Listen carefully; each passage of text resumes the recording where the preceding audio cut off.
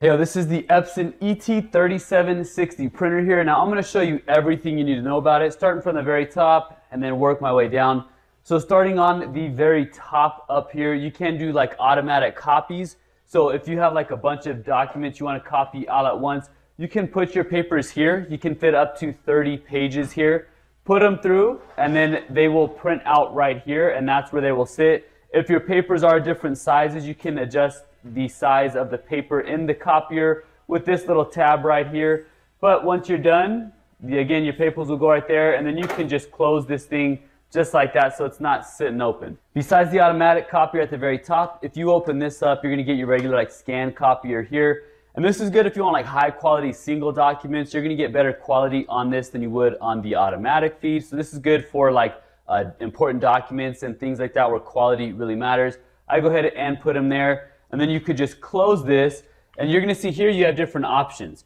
So this is a nice uh, like little LED screen right here for you to choose from. It is adjustable so you can adjust the position of it. And then you can cycle through what you want to do right here with these different buttons. So I have copy right now. If I wanted to copy, I would just click OK.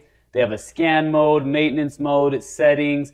And then you can just go inside there and check some of the different things out that they have. You can even change like the type of paper you're going to be using in here, the size of your paper. Has a back button right there, so if you want to go back. And then also over here on the side, here's a home button, help button, and power button. So you can adjust like uh, the different settings and choose different options all right here with the nice touchscreen that it has. Here in the front middle, this is where your papers will come uh, after you've made your copies. They will just sit there. Now, if you want to adjust the paper, you just go ahead and pull this here. You can add paper here. You're going to see there's guides on the side. So if you're going to use like different size papers, you can adjust these guides here on the side so that way it fits the, the size of the paper that you want to use. Once you're done, you just flip this up and go ahead and push it in.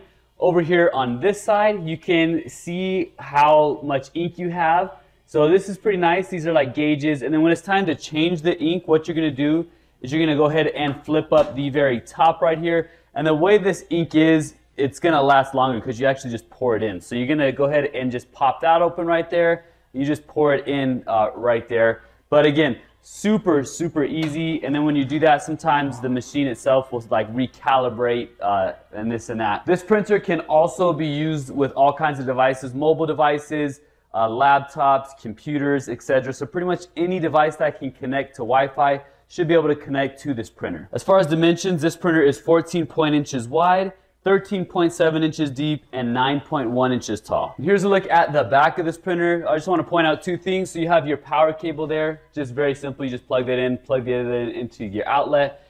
And then right here though, this can pop off. So if you ever get like a paper jammed or anything like that, you can pop that off. Go ahead and remove the paper uh, that is jammed. And then once that uh, that's uh, taken care of, obviously you can just go ahead and click it back in just like that. So overall, I think this is a really high quality printer for home offices or for college, for students, for homework, things like that. Really good printer and one that I would recommend.